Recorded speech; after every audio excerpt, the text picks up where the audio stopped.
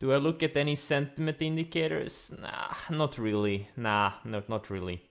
The problem with sentiment sentiment indicators is during the best periods, like during the free money periods, when when when there when you know the the, the during the times where most of the money is made as a swing trader or a position trader, sentiment indicators and overbought oversold indicators they're gonna show excessively bullish sentiment versus like excessively overbought readings. So they kind of they, they, they do work but they could completely useless when you when you when there is the most amount of money to be made. That's the problem. Look at last year and early this year you know, if you followed these sentiment indicators, you would have missed out on life changing money. That's the problem. But they do work sometimes. That's why people use them. And there's a guy on Twitter that I follow. Um, actually, there's two guys. I don't know which one of them. Is it the next big trader, Kevin Marder? But one of them said, you know, he stopped using uh, sentiment indicators in the 90s because he saw the same thing. When the life-changing money is to be made, the sentiment indicators will all show like uh, excessively bullish sentiment for months, for months on end. And if you sell or get out out of the market or whatever, go, you know, take a step back during those periods, you're gonna miss out on life-changing money. Soxel I sold yesterday. I had like half size left. I sold the other half on the way up. I sold the rest yesterday. It's getting extended. I looked back, you know, this Soxo is up 80, or it was up like 77% yesterday in what? Less than, yeah, four weeks. And I looked back, it had never done uh, such a big move before, ever. So, you know, try to be a proactive and right now looks like we're gapping up. Hopefully we get a short on it doesn't have to pull back. It can, you know, go sideways, let the 10, 20 catch up and go higher, but there may be some short opportunity developing on this one. You started your studies on breakout setups, going to each, going through each stock on TC2000. A good breakouts normally have an inside week. So your observation is that before a breakout, the stock usually has a tight range. Yeah, that's something I found too. VRAR, high tight flag breakout. Roblox, yeah, if you, yeah, buying it highs of the day, it's too high. I wouldn't buy it at the highs of the day today. It's gonna be a very wide stop. Maybe like if it takes out some intraday range, if it starts building higher lows for a few hours, that would be interesting because the volume is really good. So recent IPO, all of these things, volume, it's already trading double the volume. The problem is the market is kind of extended, you know. Would have been better if it had had earnings like a couple of weeks ago. It would have probably gapped less and would have had better follow through right out of the gate. Why TTD was a good EP, took out the, like a two year range, had big volume, that's why. Institutions told you they wanted it. Like institutions literally told you, shit, we are buying to die this thing. All you had to do was listen. Well, now we wait. Now we wait until the indices find some footing. Get rid of the weak stuff from the portfolio and the next leg higher. If we get a next leg higher, I don't know. We gonna wanna be in the new strong stuff.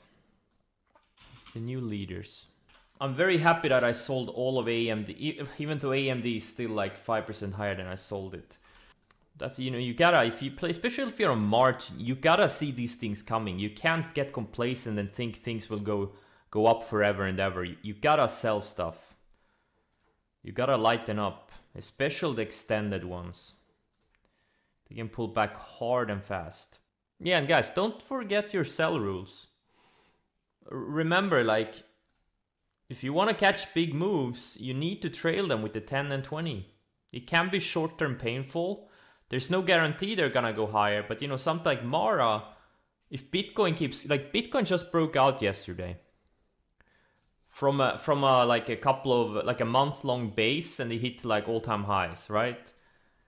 I, I mean, Bitcoin could easily go to 100,000 before year end. If it does, you know, Mara's gonna be at like 120, right? So if you're long it from way lower, if you bought it right, there's no reason to, you know, get scared out of it. Trail it with a 10, trail it with a 20. I'm using the 20. Any stock is good to hold through earnings if you have a profit padding. How else are you gonna catch a big move if you're not willing to hold through earnings? And you know, uh, Mara doesn't trade on earnings. We already know what the earnings are gonna be. It trades on Bitcoin. Bitcoin goes up, Mara goes up.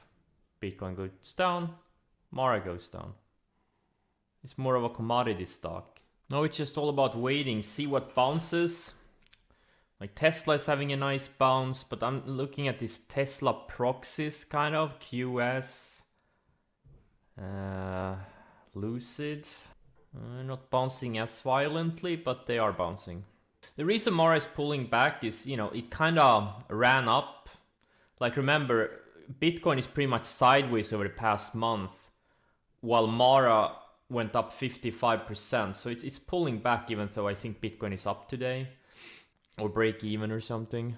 Um, so it, it kind of got a little bit optimistic and now it's gonna pull back. Find support and if Bitcoin keeps going, this will keep going too. Same thing with MSTR and all the others. GBTC, BITO. And if Lucid starts showing, right now it's trading with Tesla, but if Lucid starts showing relative weakness compared to Tesla, I'm probably gonna get rid of this one.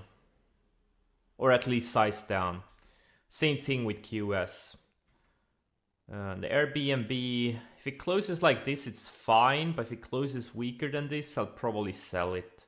Uh, all the other ones, this BE is just a tiny position. I thought, you know, this reminds me of QS late last year.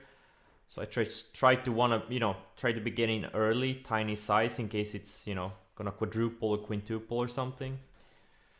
Uh, most things look pretty good. They're finding support on the rising moving averages. EMPH super strong. Couldn't even get below the 10 day. This is just so, so strong.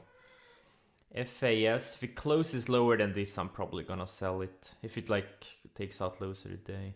And coin reports after hours, if it closes weaker than this, I'm probably gonna sell a bunch. If not all. I don't wanna risk a gap down or anything. And TTD looks like a champion. Well, yeah, the gaps get filled. Yeah, that has to be one of the dumbest things ever.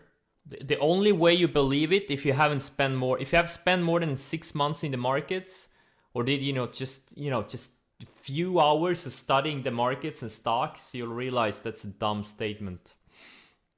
One of the dumbest ever. Lucid showing strength against Tesla. Uh not sure about that. Tesla's retraced I don't know, about 40% of the move. Lucid has retraced about 40% of the move. Uh, yeah, the jury is still out on that one. What I was saying that it's super, this, these types of days are super valuable because you see what's holding up. You see the strength, it's so clear, you know. You just, you know, the stocks are telling you. All you have to do is to listen. Stocks are telling you what they want to do. Look at this Nvidia. Look at the pullback in Soxel and AMD. And now look at this Nvidia.